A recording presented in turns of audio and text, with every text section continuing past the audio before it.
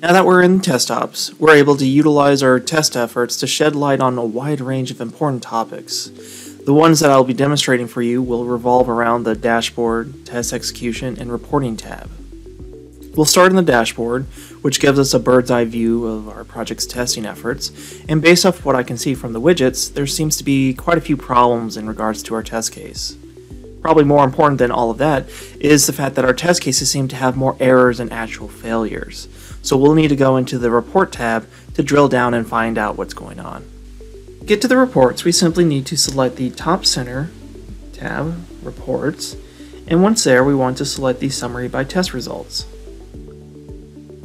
Reason why we want to go into the uh, summary is so that we can actually narrow down and start finding out what test suites are causing all of these errors. So I'll scroll down a little bit.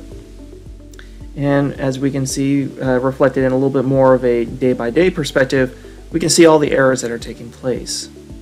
Uh, so what we're able to do here is filter them by test suite, and we're going to go simply one by one and start seeing if there's any problems. So it looks like everything is working fine outside of that one uh, failure in the logout. Let's look at the login. Same thing, but you know, still there's some failures, but we're looking for those errors. Right, here we go. Okay, so the view candidate snapshot is the one that has majority of the errors that are taking place every single day. Again, we are looking at this from a configuration problem at this point, not so much the, uh, the actual test cases failing.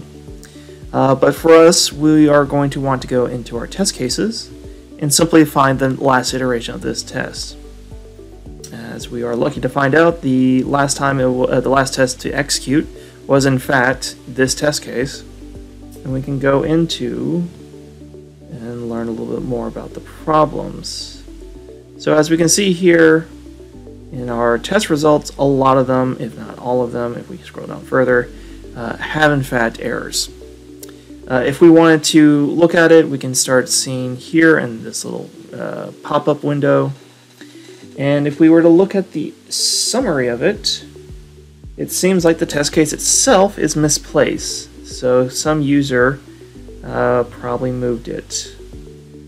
Should be a good point in time to tell you that uh, TestOps does have user-based permission, so these problems don't really have a chance to happening if you you know give people the permission of you know like admins. But you know this is a real environment. This happens. Things happen. So what we're going to do now is that we can actually once if we were to have the Jira integration added on, we can create a defect right now and send it over to uh, our Jira instance where another user, whoever it assigns to, can recreate this test case and can you know put it back into the test suite and we can actually start having a more uh, clearer view on the uh, health status of our application.